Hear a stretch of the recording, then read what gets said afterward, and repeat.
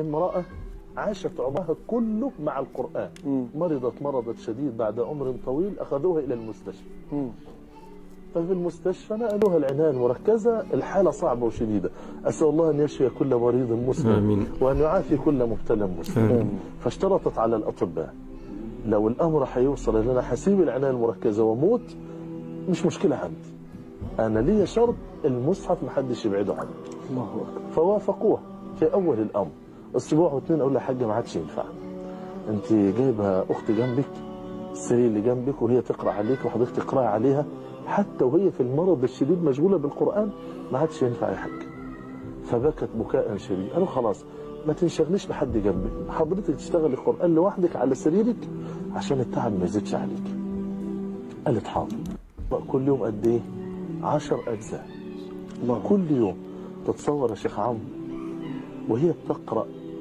وكان آخر لحظة في حياتها وصلت عند قول الله عز وجل في القراءة والذين آمنوا أشد حبا لله. الناس بيحكوا في العناية المركزة بيقولوا وقفت عند الآية دي وقعدت تكررها وصوتها يعلى.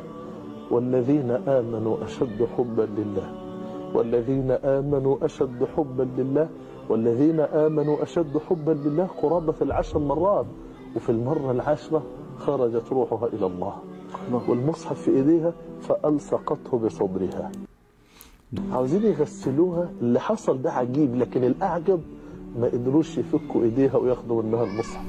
يا الله. ما قدروش. يشيلوا المصحف من إيديها ومن على صدرها. فاتصلوا على العلماء والمشايخ نعمل إيه؟ فالشيخ قال أجي أشوف بنفسي. فستروها. الا موضع المصحف كشفوه. فقال للممرضة حاولي تشيلي يفكوا إيديها يمين شمال محدش قدر.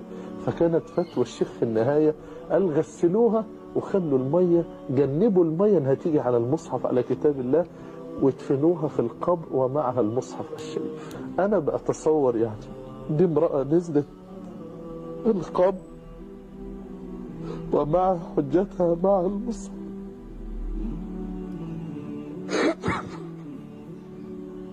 سبحان الله. اللهم ارزقنا حسن خاتمة يا رب. وأمتنا على لا إله إلا الله يا رب العالمين. آمين. فلك أن تتصور أنها نزلت القبر ومعها المصحف. أنا هنزل القبر ومعايا إيه؟ وحضرتك يا أخي هتنزل القبر ومعاك إيه؟ وأنت يا أختي وأنت يا أبي هننزل القبر ومعانا إيه؟ دي عاوزة عاوزة إن إحنا نقف ونتدبر. يا أمة محمد يا أمة القرآن عودوا إلى القرآن.